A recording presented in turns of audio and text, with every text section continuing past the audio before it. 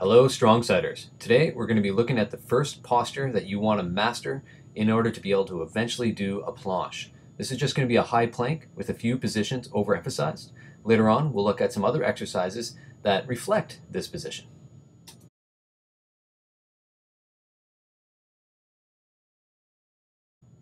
First, you want to pelvically tilt the hips, which is going to engage your core.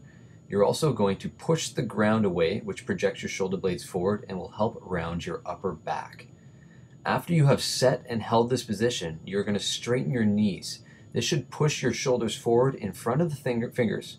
Then you're going to extend your quads and you're going to pull your toes towards your shins, reaching your heels long, trying to get a long distance from the crown of your head to your heels. So while holding this position, it should feel like you're creating tension through the tibialis anterior through dorsiflexion. It should feel like your quads are locked out, like you're doing a leg extension. You should also feel your hips lock out, like you're doing a donkey kick or finishing a deadlift. It should feel like you're rounding your upper back as if you were doing a cow cat position or doing a crunch.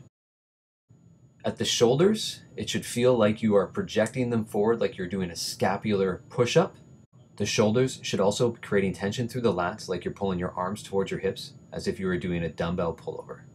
Master this posture and we'll show you another one next week. As always, stay strong, strong siders. Winner!